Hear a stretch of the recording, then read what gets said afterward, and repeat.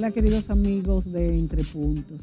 Amigos, por la importancia de que finalmente se ponga el ojo en la transformación del sistema educativo preuniversitario en la República Dominicana, ante un futuro que se transforma con celeridad exponencial con la revolución de las tecnologías 4.0, vamos a volver sobre el tema educativo, que es el que podría definir el destino del país si logramos sacar generaciones preparadas para el cambio tecnológico. Vemos con agrado el interés que está mostrando el presidente de la República en pro de la despolitización de la educación, de la simplificación del sistema educativo y de la definición de escenarios ajustados al futuro de la revolución tecnológica 4.0. Para conversar sobre este tema, hemos invitado a dos especialistas que han dedicado sus vidas los temas de educación e investigación a los más altos niveles en el país y en el exterior. Con ellos veremos cuáles son los cambios que ha experimentado el sistema educativo político y público, me refiero, durante los últimos 100 años, sus consecuencias en el empleo, en la calidad de los sueldos y en la competitividad del país y de qué dependen eh, pues estos distintos escenarios que se podrían presentar. Vamos a darle la bienvenida a la doctora Jacqueline Malagón, quien no necesita presentación en este programa y quien nos ha traído al doctor Juan Tomás Tavares, pasado presidente de Educa y de la Sociedad Dominicana de, Bibliófilos, entre otros eh, pues, roles importantes que ha tenido en nuestro país. Doña Jacqueline, bienvenida y tenga usted el privilegio de presentar a Juan Tomás. Gracias, Mónica, una vez más en tu programa. Ya siento como que es medio mío. ¿eh? bueno, hoy sí tenemos un plato sumamente interesante, un plato fuerte que va a arrojar mucha luz. Eh, no estoy pensando en los docentes, básicamente estoy pensando en la sociedad como un todo, las familias, los líderes de la sociedad, empresariales, sociales, etc. Y se trata del buen amigo, cuasi hermano, Juan Tomás Tavares Kellner. Me unen lazos de entrañable amistad y relación de muchísimos años con la familia de Juan Tomás, con su padre, Gustavo Tavares, que fue mi gran mentor, a quien no puedo cansar de decirme que le debo gran parte de lo que soy, y que he dicho en varias ocasiones, yo espero que Juan Tomás no se moleste, que su papá me lo dejó a él en herencia, porque lo que no acabé de, de aprender con su papá, porque los tiempos han cambiado, Juan Tomás tiene la bibliografía de memoria más eh, más acabada, más completa que yo conozco en todos los líderes educativos de mi época. Estoy hablando de los, de los viejos, ¿no? Que acumulan más en el chip del cerebro. Para mí Juan Tomás es increíble en eso. Así que Juan Tomás, te damos la bienvenida y queremos ver qué podemos conversar contigo a la luz de que se está hablando de reformas, de modernización del Estado, pensando en la educación. Se está limitando a la educación preuniversitaria a mí me decían estos días que debíamos pensar en la educación superior y la misma técnico profesional. Pero lo que se ha planteado en este momento es sobre la reforma de la preuniversitaria, la modernización. ¿Qué te parece a ti estos tiempos? ¿Qué pueden traer? Bueno, muchas gracias por la invitación. Eh, definitivamente son tiempos que requieren de reflexión, eh, porque como ha dicho Mónica, estamos inmersos en cambios cada vez más acelerados y solamente podemos esperar que se sigan acelerando. O sea, no va a detenerse el ritmo de cambio que eh, viene sucediendo desde ya hace varias décadas por la expansión del conocimiento científico y tecnológico, básicamente. Entonces, es sumamente importante eh, pensar en esa reforma del sistema educativo. Y creo que es sumamente importante trazar algunos principios de cómo debe ser esa reforma.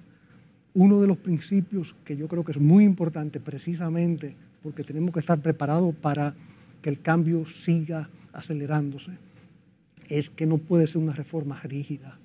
No podemos hacer una reforma porque si es rígida, dentro de 5 o 10 años vamos a estar haciendo otra reforma el esfuerzo que toma hacer una reforma, eh, el tiempo que toma, los recursos que hay que dedicar a eso son grandes. Entonces tenemos que estar preparados con una, una reforma que nos dote de un sistema con cierto grado de flexibilidad para poder ir haciendo los cambios a medida que se requieran. No dentro de 10 o 20 años hacer otra gran reforma, sino mantener, vamos a decir, un sistema de mejora continua, que es algo que se utiliza mucho en eh, todas las organizaciones. Entonces, creo que eso es uno de los principios sumamente importantes a considerar en este proceso de eh, elaboración de una, reforma del sistema educativo. Cuanto más, en, un programa pasado con la misma doctora Jacqueline Malagón hablamos de la formación universitaria y concluimos, como es, por todos sabidos, que mientras la escuela, eh, que es la educación básica, que es el tema de este programa de hoy, no mejore su calidad y de estudiantes que reflejen en las pruebas un, mayor, un mayor nivel académico, no vamos a poder tener una, una formación universitaria y profesionales terminados tan buenos como los quisiéramos. Entonces, tú apuntas a que tiene que ser una reforma dinámica, tú apuntas a que tiene que ser una reforma que, que no, no se limite por los grandes cambios que se van a producir en, en estos próximos años. Se habla de hasta el 2035. Ah, entonces, ¿a qué tú te refieres con una reforma dinámica? A mí particularmente, y se lo he expresado a la doctora Jacqueline Malagón, me preocupa mucho, eh, y, lo mencioné en la introducción, la politización de, los sindicatos. Me preocupa no solamente en, en los maestros, también en los médicos, por ejemplo. Y sabemos que no podemos exigirle a un grupo, a un gremio que cambie de la noche a la mañana, pero podemos hacerlo paulatinamente no sé si a eso está incluido en esto de que sea una reforma flexible, porque los profesores son básicos para el perfeccionamiento de este sistema y para eh, el la continua mejoría. Doña Jacqueline Malagón, por ejemplo, ha trabajado en esto toda su vida, pero uno de los temas que hemos eh, conversado fuera de cámara es de cómo ha mejorado en los, en los 100 últimos años del país la educación y hasta se ha concluido con que en, algunos casos hasta está peor. Entonces, ¿cuál es, cómo, mejorar un sistema de este tipo? Bueno, creo que uno de los, otro de los principios que tenemos que tener en mente es que tenemos que simplificar el sistema. El sistema es sumamente complejo, muy centralizado. Entonces, eh, tenemos que pensar que el sistema tiene que estar diseñado para pensando en el aprendizaje de los niños. Ese es el foco, ese es el centro de toda la acción. No hay nada que aporte valor si no va eventualmente a un mejor aprendizaje de los estudiantes.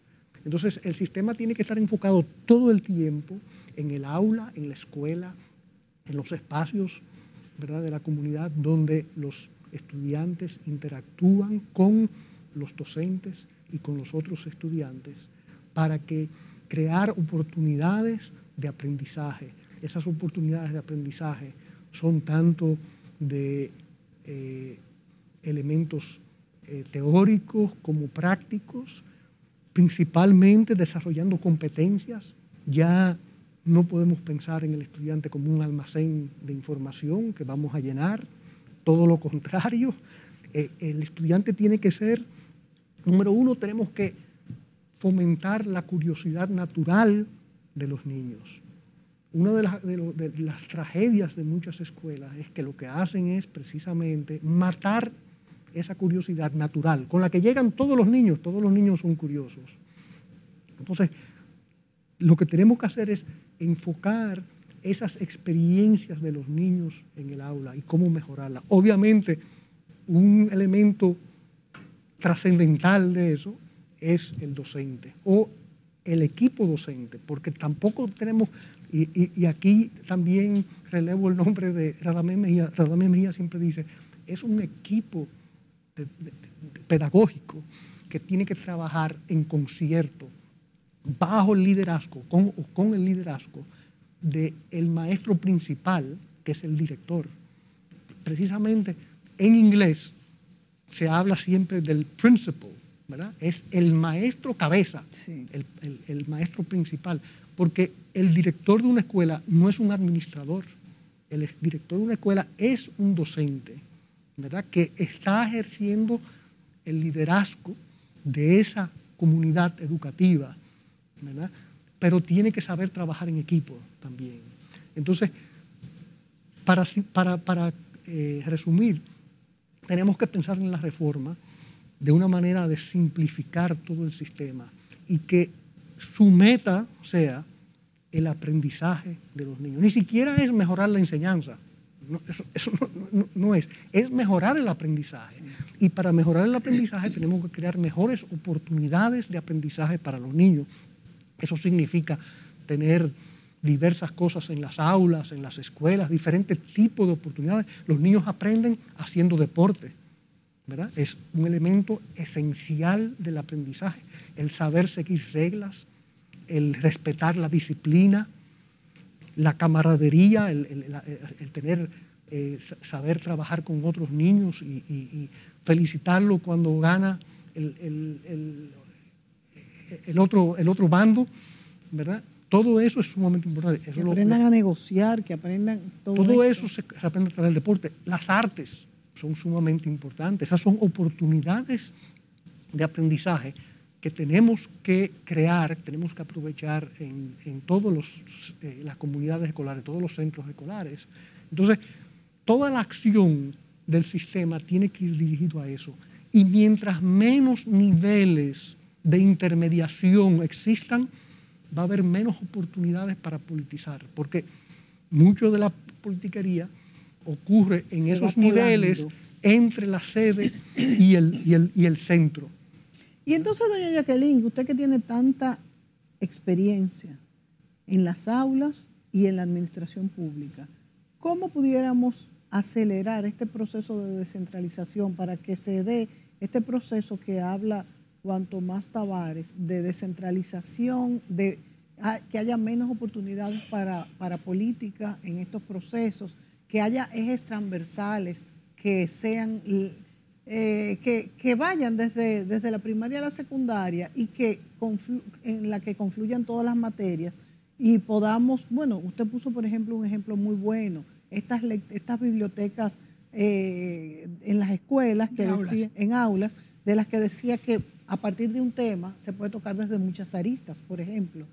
¿Qué nos falta? Y si en un momento como el que vivimos, donde la, el sector educación tiene más presupuesto que nunca, sería entonces el momento más apropiado.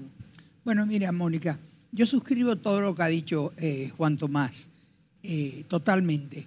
Yo creo que hay tres puntos eh, nodales, tres puntos principales en lo que Juan Tomás plantea. Lo primero es la agilización, la simplificación y, el, y descentralización del sistema. Eso es en, en términos del diseño. Como decía Juan Tomás, todo debe partir desde el aula. Eso fue algo que nosotros aprendimos, o por lo menos yo lo aprendí en el plan decenal, ¿te acuerdas, Juan Tomás, que hablábamos del aula hacia arriba, no de la sede hacia el aula? Entonces, es eh, muy importante eh, ese tema. El segundo tema, eh, Juan Tomás lo toca sin mencionar la palabra currículo, pero habla de lo que los niños deben aprender y habla de la curiosidad con que los niños vienen. Entonces, aparte de la curiosidad natural que debe saciarse en el aula, que debe entenderla el maestro, que debe responderle el maestro, está la parte afectiva que yo siempre vivo diciendo que el maestro debe mostrarle al niño para que el niño se sienta eh, eh, acogido, se sienta eh, bien recibido en el aula. Recordando que hoy en día se habla mucho de la educación o de la enseñanza personalizada, que es cuando tratamos de ver cuáles son las diferencias entre un niño y el otro y ajustar la enseñanza en el aula para que los, los, los, los incluya a todo. Y tercero, después del currículo, hay muchos otros elementos que Juan Tomás ha puesto en evidencia, pero el tercero sería en el, te- en el ámbito de la formación docente. El maestro de hoy, Juan Tomás me hizo una definición, tú, tú la podrías, la que tú me hiciste anoche que me mencionaste, de lo que el maestro debía hacer No, cuando hablaba del otro día. tú. No, no, no, es que a mí me gustó porque fuiste tú el que me lo, me lo dijiste. Bueno, el, el maestro tiene que tener la capacidad de precisamente atender todas las necesidades de esos niños de una manera personalizada. Tiene que tener esa autonomía para interpretar, por ejemplo, el currículum y adaptarlo al contexto donde está enseñando. No es lo mismo en Jumunucú que en eh, Herrera. Claro, Punta Cana. Claro, claro. Entonces, esa, esa capacidad, y por eso también hablaba de la flexibilidad, tiene que haber esa flexibilidad. Ahora, para eso se necesita un maestro empoderado. No, y con un pensamiento crítico tremendo. Con una capacidad, ¿verdad? Que no sé si la tengan todos los maestros. No la tienen todos los maestros, porque, porque los maestros tampoco se educaron de esa manera.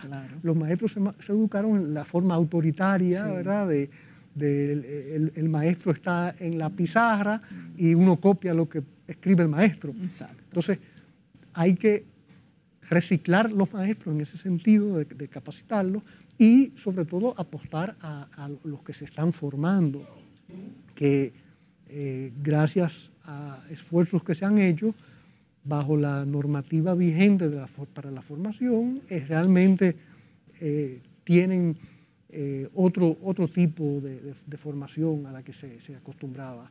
Pero definitivamente el maestro tiene que tener esa autonomía y tiene que trabajar en equipo. De nuevo, es sumamente importante que el docente trabaje en equipo.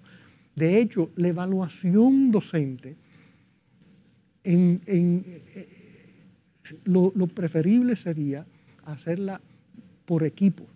O sea, la evaluación del centro, del equipo que trabaja, porque en un año, ¿verdad? No se hace, no se forma una persona. Mm. Es un proceso largo y en él intervienen muchas personas. Entonces, eh, incluso en la forma de evaluar, preferiblemente se evalúa en, en, equipo. Y también tienen que trabajar muy de cerca, porque así como hablábamos, deben haber maestros con cierto grado de especialización en, las artes, en, la educación física, y eso es un equipo que trabaja con el, maestro de aula que quizás solamente se esté ocupando de la parte más eh, académica y la parte emocional, etc. Y deben entender eh, las limitaciones y las capacidades, el potencial que tiene cada, cada estudiante y dirigirse a desarrollar ese potencial. A mí me preocupa, y, lo hago como pregunta, que todos eh, los primeros años, cuando se trabajó con el 4%, mm, la queja fue que no se invirtió suficiente en la preparación de los maestros, sino más bien en infraestructuras, que bien hemos visto que es necesaria porque de hecho todavía parece que son necesarias más aulas, porque hay falta de aula, tanto es así que han tenido que el gobierno ha dado la facilidad de inscribir los niños que no alcancen a inscribirse en escuelas públicas, o sea, de, la educación pública en escuelas privadas. Pero mm, se más se ha focalizado en esta parte que en la formación de maestros.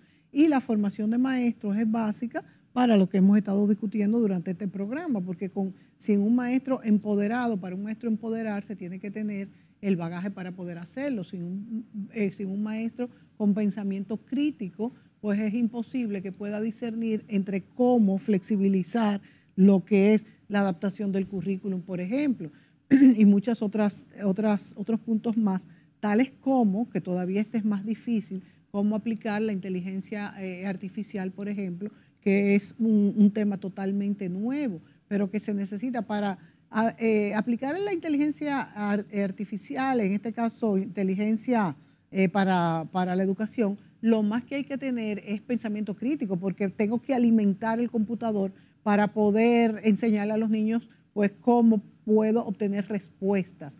Entonces, esto se está haciendo en este momento, se está trabajando con la formación de maestros de una manera que, pueda, que podamos ver los resultados en un tiempo determinado. Yo puedo decirte, lo recibí en esta semana, que la normativa que ha salido de las conversaciones entre el Ministerio de Educación Superior y los técnicos que fueron convocados para definir lo que llamamos la normativa 0915, que eh, ha sido, no voy a decir eliminada, ha sido modificada, aunque han dejado cosas esenciales por las que habíamos luchado y no podemos decir que se quitaron.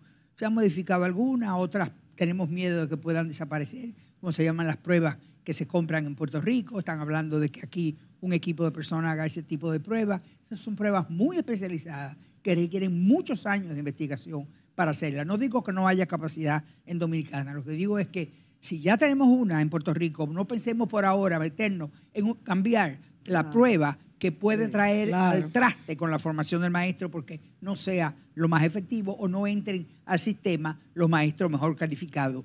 Pero Juan Tomás eh, mencionó un par de cosas que son sumamente interesantes y una de ellas, perdona que me, me vuelva a recordar, Gustavo siempre decía, allí donde hay un buen director, generalmente hay una buena escuela. Es verdad. Él predicaba eso continuamente. Generalmente, o sea, no siempre, pero generalmente había una, una buena escuela.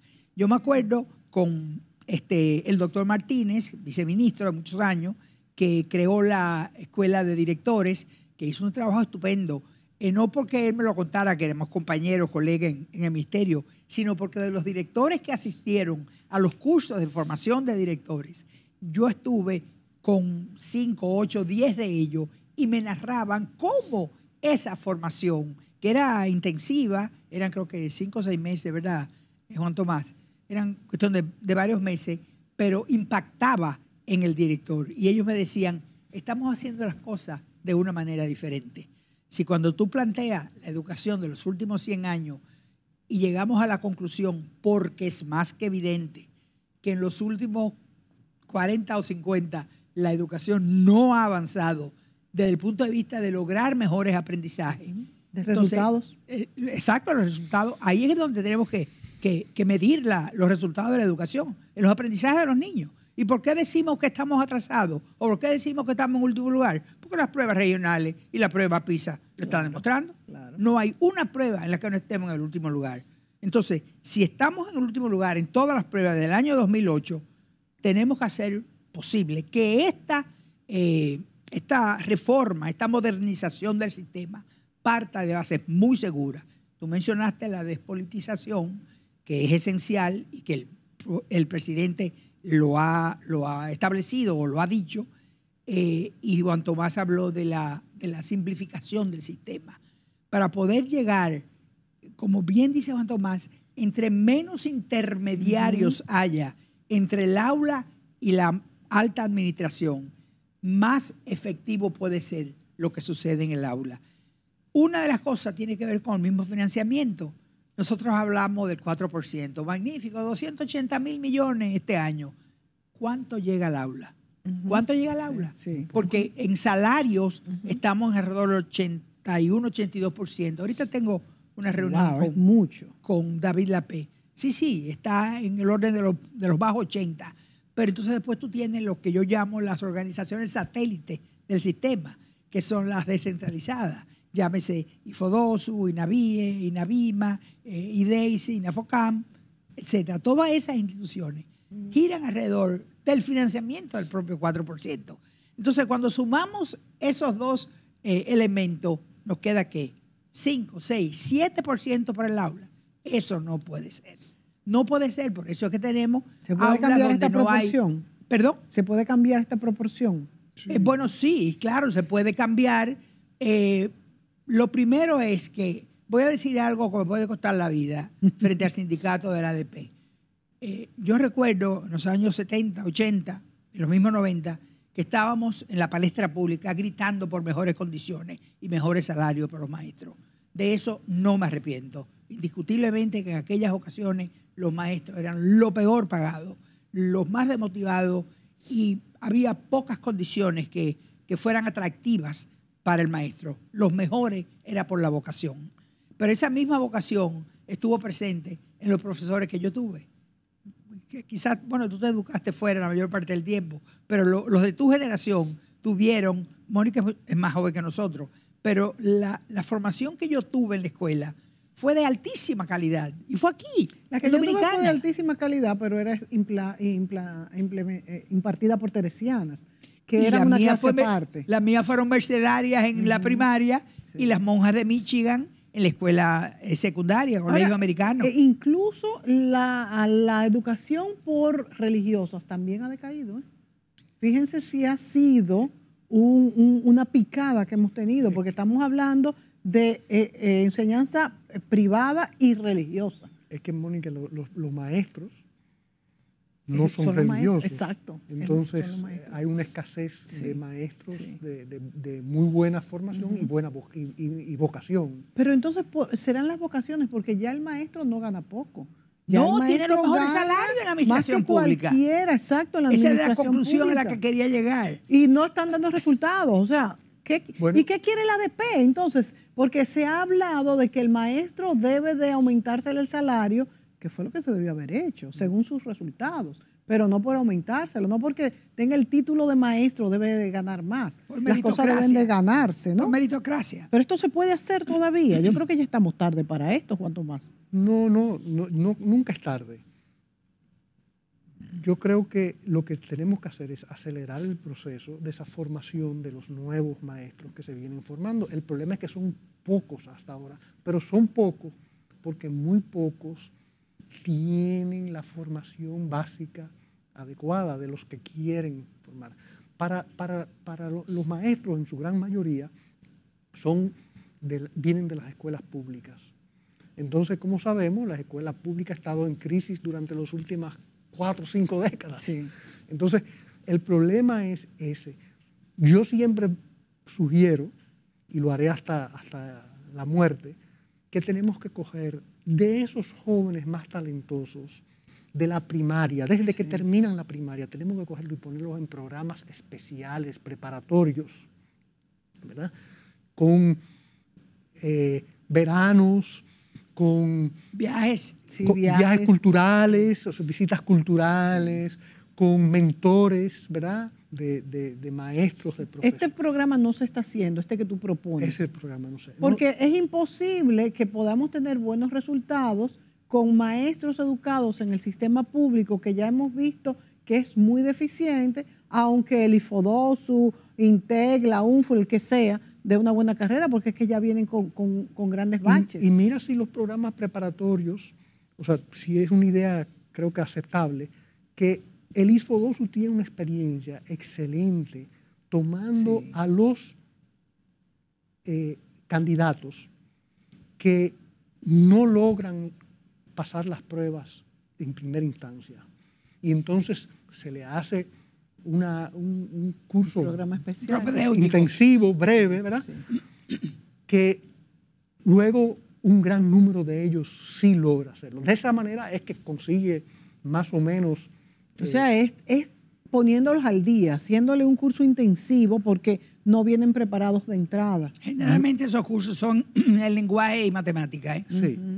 Entonces, eh, eh, eso es, yo creo que la solución es aumentar el número de jóvenes que están saliendo de la escuela. Que se identifiquen temprano. Que se identifiquen temprano, que, que se cree que puedan tener vocación para el magisterio, porque, Pero si no, si no lo tienen, por lo menos vas a ver mejores formados, que, luego sean ingenieros y cosas, perfecto también. Pero yo creo que esa es una manera de aumentar eh, el ritmo, porque se están formando, cuando se han hecho los últimos eh, eh, concursos de oposición, los del ISFO son los que, los que básicamente... más alcanzan, ¿verdad? Los que mejores resultados tienen. Entonces, creo que tenemos que eh, hacer eso de una manera intensiva para aumentar ese flujo. Eventualmente, a medida que van saliendo, porque creo que hay que aclarar una cosa, los maestros actuales, con las deficiencias que tienen, no son los culpables de eso. los culpables somos todos. Sí, todos. Porque, porque es que es un tinglado, como decíamos ahorita. Ellos fueron a la escuela pública y esa fue la educación que recibieron. Y, no se le pueden pedir peras al olmo. por supuesto. Hay algo muy, muy valioso que quiero destacar en las palabras de, Juan Tomás. A Juan Tomás no le gusta que, lo presenten con todas las habilidades y las experiencias o las ocupaciones que él tiene, que ninguna es eh, ni estatal ni inclusive privada. Él como ciudadano ha dedicado, por así decirlo, su vida al, estudio de, todos los fenómenos sociales, entre ellos principalmente la educación. Y lo digo con propiedad, sin preguntárselo a él para que lo confirme, porque yo tengo años y años al lado de Juan, de Juan Tomás. Y tenemos una relación igual que con Radamés. El Ifodosu, él está en la junta directora de Ifodosu hace varios años, igual que Radamés. Pero Radamés y Juan Tomás estuvieron, cuando yo era ministra, en la decisión de hacer del Ifodosu una universidad, que era un liceo. Y, y, ustedes, o nosotros escogimos a Francisco Polanco. ¿Tú te acuerdas? Francisco fue el gran diseñador del Ifodosu como universidad. Hoy en día la sala de directores tiene el nombre de Francisco Polanco. Pero eso que dice Juan Tomás tiene, tiene tanta, tanta importancia, tiene tanto peso, que si fuéramos, y, no quiero eh, eh, monopolizar la conversación con el currículo, pero el currículo me tiene sumamente preocupada, igual que el diseño del sistema, la facilitación y la formación docente. ¿Por qué el currículo? Señores, en la prensa de esta mañana internacional hablaban de que, lo vamos a yo, que en las escuelas de Estados Unidos, a lo largo de todos los Estados Unidos, ayer sacaron los niños de las escuelas por el heat wave, por las ondas de calor que no permitían que los niños estuvieran encerrados en un aula, aún con aire acondicionado. Porque salían de la clase, iban al baño iban al patio y el heat wave no desaparece. Entonces, eso fue ayer. Nosotros estamos dándole la importancia que requiere el tema de la enseñanza del medio ambiente y cambio climático. No, no lo estamos haciendo. Apenas hay unas guías didácticas que, que han quedado preciosas. Son responsabilidad en donación de la Fundación Propagás y de la generosidad de su presidente, la doctora Pirigo Abonetti. Esas guías didácticas están ya en, el nivel inicial y en el primer ciclo de primaria. Eh, ella eh, ha financiado la elaboración y está donándolas al ministerio que las está recibiendo en la dirección de currículo. Pero fíjate, tiene un año y pico, dos años trabajando y estamos hablando de que estamos en el primer ciclo de primaria. Y estamos tocando no todos los temas, porque esto es puntual para que una vez a la semana o que sea transversal. Pero al menos ya existen Ese tema, esos toques que son sí, importantes. pero en el tema de currículo, y esto es algo que nosotros tenemos que, que hablar en mucho detalle en el grupo nuestro, Ando Más, es el tema no solamente de cambio climático, sino cómo vamos a manejar la inteligencia artificial en la educación. Eso es lo principal. los primeros, eh, los primeros reportes de la inteligencia artificial. Tecnología y ética. Sí, todavía hay más que tecnología y ética. Esta mañana Juan Tomás me mandó, le pedí varias referencias, porque, y esto yo creo que es de interés que yo lo mencione. Como yo trabajo en el Senado, ayer tuvimos reunión y las dos comisiones de Educación, yo les pregunté a los presidentes y a los senadores si lo que hablábamos ahí, que no fuera por supuesto materia que yo entendía que pertenecía solo a ese reducido eh, círculo, si yo podía comentar en, los espacios públicos que el Senado está preocupado con estas cosas. Ahora mismo yo soy una de las que va a entregar un trabajo sobre inteligencia artificial. Estoy contando con el apoyo de, Juan Tomás, pero también ellos tienen resoluciones que tienen que ver con el cambio climático que están discutiendo si son proyectos de ley o son proyectos de resoluciones. La mayoría de ellas no pueden ser proyectos de ley, porque no vamos a inundar la escuela, el ambiente con leyes, leyes, no, leyes que no se van exacto, a cumplir. que no se van a cumplir. Exacto, pero sí me agrada decirle a, la población que nos está oyendo que espero aprecien lo que hay detrás de las palabras nuestras en este programa y es que hay otras instancias dentro de la armonía de la administración eh, y la guía y la orientación del Estado como tal, llámense en este caso Poder Legislativo, que también está preocupado con estos temas. Y puedo asegurarle que están, eh, estamos haciéndolo de la manera más, más competente que se puede hacer. Estamos recurriendo a especialistas, estamos recurriendo a, a estudios o investigaciones, contamos con gente como como Juan Tomás, como Radamés, como Fernando Ferrán, como Leo, como Miriam Díaz, como todo el grupete de los que nosotros tenemos un, grupo que yo llamo los apóstoles intelectuales. Mis amigas no le diga, no les gusta que yo diga intelectuales, pero yo lo digo de cariño, porque como todos saben tanto, este, eh, eh, eh, es, algo que, que, yo quiero que la gente tenga esperanza.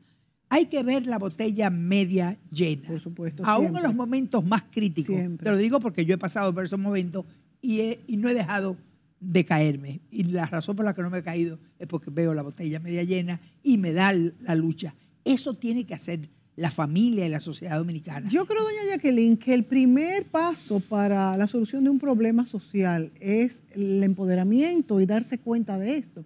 Y la sociedad dominicana ya tiene varios años que está consciente de que la educación es el pilar para el desarrollo, para el desarrollo del país y para el desarrollo individual de cada una de las personas, para el desarrollo de la familia, para todo. Yo creo que todos ya estamos conscientes no solamente un grupo eh, élite, que claro que qué bueno que también esté eh, consciente, sino hasta los más pobres ya están conscientes. Y me voy para irnos a la pausa, a la frase que usted usó, que usaba don Gustavo, de, y que me gustó mucho.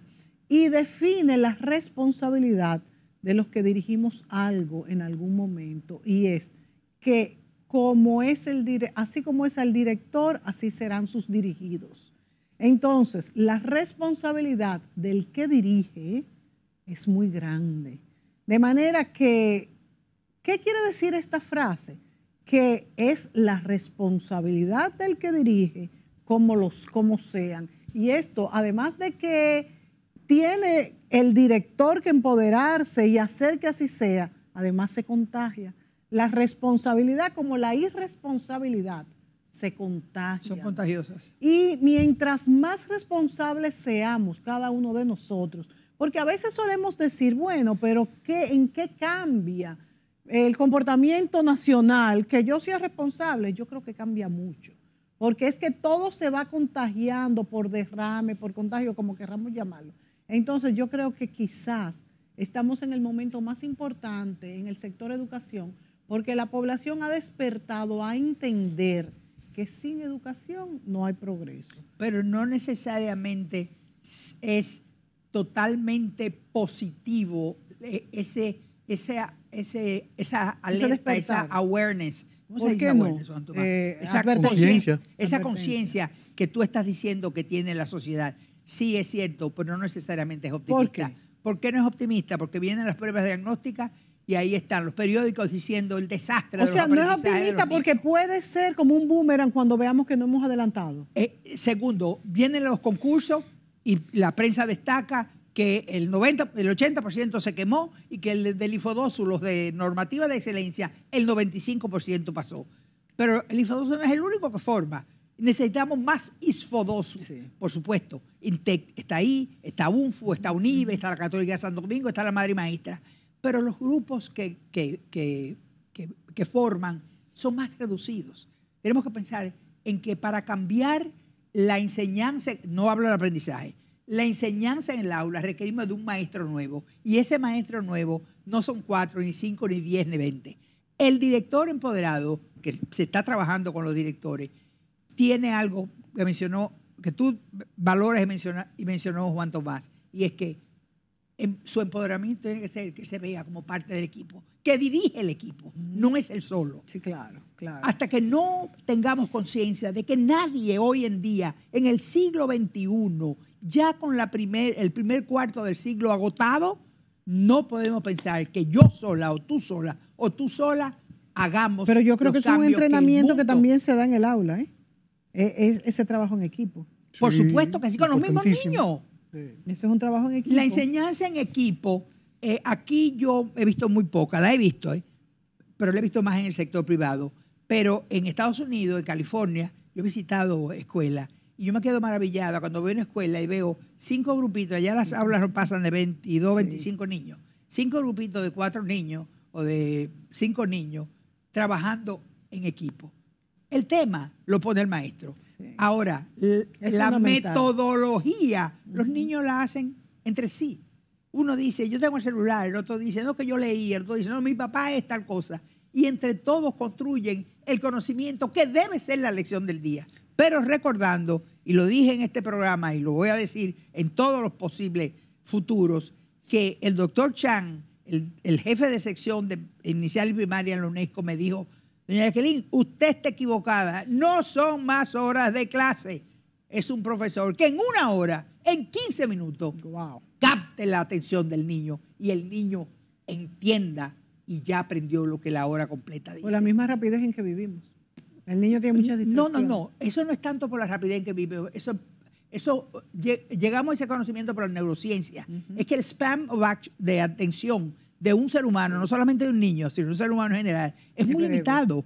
Tú vas a una conferencia y los primeros la minutos, si no es buena, te cansas. Bueno, eso es para interesarte, pero la esencia de la conferencia tiene que ser en el momento crucial en que el conferencista te está hablando a ti y tú entiendes esa conexión entre tú y él y te empoderas de lo que él dice. Ahí vino un aprendizaje. ¿Qué aprendizaje? Lo que sea que esté hablando el conferencista. En el aula, lo que el maestro tenga para la lección de ese día. O sea, fíjense que, le está hablando a, miles quizás y tiene que tocarte a ti. Exacto. Vámonos a la pausa para que no nos corten en el aire. Volvemos de inmediato.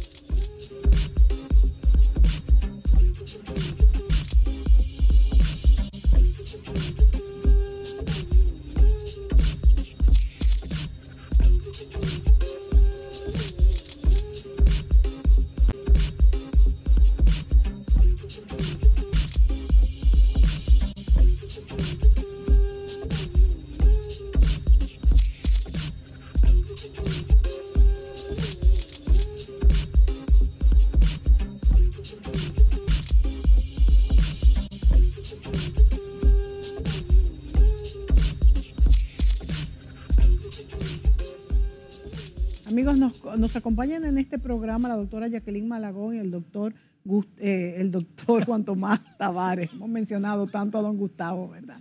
Pero se lo merece, se lo merece. En este programa y hablamos sobre las posibilidades que tiene el sector educativo de tener un cambio real que se lea en nuestra sociedad, en la empleabilidad de los graduados y en el desarrollo nacional de la República Dominicana. Uno de los puntos que he leído que va a estar totalmente permitido en las aulas es el uso de la tecnología y el uso de dispositivos. Yo me acuerdo cuando yo estaba en el colegio nos quitaban hasta las calculadoras y ahora dicen que no se debe de quitar ni siquiera el celular porque es una herramienta de trabajo. Entonces, este Ojo, eso no es válido para toda la escuela básica en la primaria si no, se no van a aprender a sumar y a restar. No, Noruega, Suecia, el profesor de Harvard, en Japón, en Uruguay, en Francia, en Bruselas, están hablando de que en la primaria hay que disminuir el uso de la tecnología. Ya ¿Se han dado cuenta que los niños no saben firmar? Claro, es que no saben firmar. ¿Por qué no saben firmar? Porque no trabajaron con lápiz y papel. Entonces no pueden aprender a firmar. Ahora, ¿qué problema? Que estos niños no van a aprender a escribir porque ya todo se hace por eso se está dando un paso atrás. Es que todo cambio tiene que fundamentarse en las posibilidades de cambiar a lo largo del cambio. Esta reforma que se está planteando del sistema educativo es un paso parecido a la reforma de los años 70 o parecido a la reforma que nosotros implementamos o quisimos implementar a principios de los años 90 con el plan decenal, que sigue siendo un referente nacional para todos. Pero los tiempos de hoy son diferentes a los tiempos del 70 o del 90. La vertiginosidad con que avanza la tecnología, las cosas que la ciencia nos está presentando. Inclusive si nos vamos al espacio, estamos hablando de que se está trabajando y se está descubriendo cada vez cosas que tienen que ver con el espacio universal, el universo como un todo. Ya no hablamos del planeta Tierra. Entonces, la escuela tiene que ser el centro para el conocimiento que tengamos que tener de todo eso. ¿Y quiénes somos los responsables? Bueno, básicamente los maestros, eh, maestros no, vamos a llamarle docentes, porque en los docentes incluimos a los directores y a los coordinadores pedagógicos. Entonces los docentes, pero también los líderes de la sociedad. Gente como nosotros, y tú estás en el grupo de los apóstoles intelectuales, que no te mencioné porque estamos en tu programa, pero reconozco que cometí una falta porque tú eres parte de los 12 que somos nosotros. Soy un aprendiz. Somos, somos personas que en diferentes espacios sentamos eh, lo que mucha gente llama sentar cátedra, o sea, damos a conocer. No, no, no es sentar cátedra, porque ninguno privamos en catedráticos, pero damos a conocer cosas que estamos bajados estudiando, porque no es que estamos en un radio oyendo música, es que estamos el día entero los que más leen, que son Juan Tomás, Leo, Fernando Ferrán, de Mejía, están buscando información que compartimos en el grupo, pero que todos tenemos que leer ¿eh? y que lo que haya que comentar debe comentarse. Y seguir buscando y seguir trayendo. Eso habla de una generosidad que está consona con la verdadera, eh, con la verdadera naturaleza humana. El hombre, en su esencia, desde su nacimiento, su naturaleza es buena, es hacia lo bueno. ¿Qué lo convierte en un agente no necesariamente bueno? La sociedad, la misma escuela. La misma escuela. Cuando no se llevan las cosas por donde Si nosotros trabajamos como líderes eh, sociales, líderes naturales, líderes eh, en la educación y, damos a conocer cosas que quizás otros no han tenido la oportunidad de, aprender o de ver, o, porque nosotros viajamos. Es el proceso de, abrir los ojos al mundo. Vámonos a la pausa y volvemos con el tema. Eh, y cualquier otro que ustedes quieran para cerrar. Si es posible realmente una descentralización simplificación del sistema, porque se dice muy fácil, pero se, se va a lograr. Ni siquiera se puede lograr, se va a lograr. Volvemos de inmediato.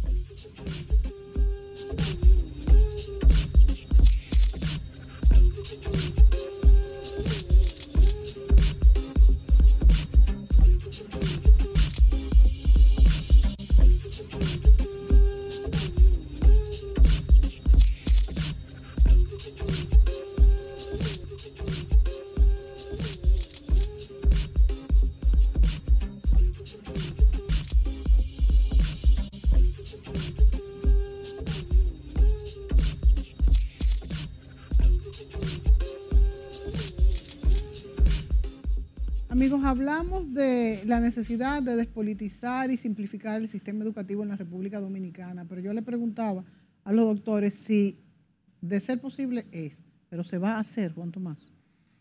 Yo creo que tenemos que apostar a que tiene que hacerse, porque si no, no vamos a lograr el aprendizaje de los alumnos como queremos. ¿Qué tanto influye la política en el sistema educativo? La política influye muchísimo. Mira, tú no te puedes imaginar, estamos hablando aquí de la importancia del líder, ¿verdad? El, principal maestro y, de la comunidad educativa.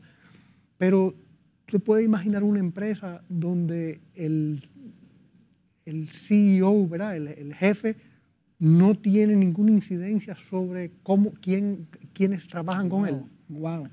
Entonces, wow. en la mayoría de las escuelas, dominicanas públicas, el director no escoge al equipo educativo, no puede, no incide mucho, incide en algo porque o sea, negocia, pero entonces esas son cosas que tenemos que cambiar necesariamente. Está bien que se pague desde la sede, pero el manejo del personal en gran medida tiene que ser de la comunidad educativa con ese líder que es, que es el director. Tiene que tener discreción en cuando eh, sacar incluso a sacar incluso sí, que no cuando necesario no tiene la facultad de hacerlo no, ahora. No tiene la facultad. entonces o sea que una manzana podrida te daña las otras. entonces eh, eso es sumamente importante. Uno de los de los eh, papeles más importantes de un director es determinar qué maestro va a trabajar, en qué grado, ¿verdad? Con cuáles ¿Y niños. eso lo puede hacer? Bueno, eso, eso hasta cierto punto, y como digo, eso se negocia, con, pero no es. Entonces, por ejemplo, vemos escuelas públicas como las de Fe y Alegría, que son escuelas públicas, donde por convenio con el, el ministerio tienen más discreción en hacer eso. Y ese es uno de los factores que hace de esas escuelas muchísimo mejor. Pero entonces tenemos identificado un, un, renglón que es fundamental y no es fácil, no es difícil, perdón. No es difícil que se modifique, porque es, que el director tiene que tener la prerrogativa para eso, porque si no, ni siquiera le podemos, eh, podemos pretender que un buen director se haga cargo de una escuela donde no tiene ninguna incidencia. Es, es que un buen director va a renunciar. Es muy cuesta arriba y son tres minutos que nos quedan, pero yo quisiera que ustedes me hablaran más de esto. Bueno, e, esas son de las cosas, o sea, que por eso decimos que hay que simplificar el sistema y darle, o sea, empoderar a las comunidades educativas, ¿verdad? A tomar decisiones, a eh, determinar cómo utilizar el currículum que, lo establece el ministerio, ¿verdad? Pero que tiene que adaptarse al contexto. totalmente de, acuerdo. Entonces, eh, si no hacemos eso, vamos a estar en, lo mismo. Podemos volcar todos los recursos. Además, un buen director no va a aceptar un cargo sin ninguna prerrogativa. Para hacer. Y lo aceptan y hacen lo mejor posible. Y el buen director, como quiera, logra mucho más, como digo. O sea, negocia, o sea, se queja, va al ministerio. Eh. Un minuto, doña Jacqueline. ¿Qué tiene que decir ante esto? Eh, voy a cerrar con algo que puede no ser muy positivo, pero para la educación y para el avance de la sociedad lo es. Esa flexibilización que Juan Tomás plantea, esa simplificación que él describe muy acertadamente, nos va a llevar a cambiar lo que se llama el ratio o la proporción o la relación entre lo administrativo y lo docente. ¿Por qué lo va a cambiar? Porque hay una cantidad de personas que trabajan en la administración que no tienen ninguna incidencia. Y que se va a ir todo el presupuesto. Ninguna incidencia, pero se están comiendo el presupuesto. Entonces, ¿Cuál es la proporción administrativa docente? yo te la puedo decir por los salarios, lo mencioné ahorita. 81-82% son los salarios del 4%. Pero los salarios incluyéndolos todos. Los docentes. Incluyéndolos todos. Incluyéndolos todos. Incluyéndolos todos. Pero en un, en un sistema donde el salario se lleva la inmensa mayoría de los recursos, ¿con qué tú trabajas? ¿Cómo tú llegas en el aula a que los niños tengan, bueno, ahora van a tener el libro, ¿eh? porque el acuerdo con UNICEF para la alfabetización y la primaria y, lo que ha producido UNIBE, estoy trabajando a veces en otros programas de televisión, eh, nos trae la esperanza de que los maestros encuentren en el Internet, en el sitio del Ministerio Educando o en el sitio de, de UNIBE, en programa Leer, van a encontrar cientos de miles de libros para leer. Pero si le quitamos la tableta y el laptop, que es la tendencia que estamos viendo que está surgiendo en el mundo, ¿cómo van a leer esos libros? Porque cuando decimos biblioteca de aula, no nos estamos refiriendo al Internet, estamos refiriendo al, papel, que el niño manosee el papel. pero no lo tenemos aún. En las escuelas no lo hay, no lo hay. Entonces, yo siempre digo, y lo hablamos mucho. O sea, libros que sean, no, no estamos hablando de los textos, para que no se confunda. Exacto, no estamos hablando de los textos, estamos hablando, el niño aprende a leer con un texto. ¿Ok? Aprendió a leer. Pero tiene que leer. Pero si aprendió a leer, él tiene que leer para aprender. ¿Y qué va a leer para aprender? No tiene ningún libro, no tiene, un, o sea, una historia, un cuento. se refiere a cuentos apropiados para cada nivel. Se nos acabó el tiempo, es un tema sumamente interesante. Nosotros simplemente ponemos los dedos sobre los puntos, eh, que podríamos decir que son llagas algunos, y que esto quede latente para su discusión. Me consta que hay mucha preocupación. Es como usted dice, doña Jacqueline, a veces si hay demasiada preocupación y se frustran esas preocupaciones, a veces es peor, pero esperemos que este no sea el caso. Así que muchas gracias a doña Jacqueline Malagón y a don Juan Tomás Tavares por estar aquí acompañándonos con este tema tan importante. Y a ustedes, amigos, gracias por sintonizarnos. Y será hasta la próxima.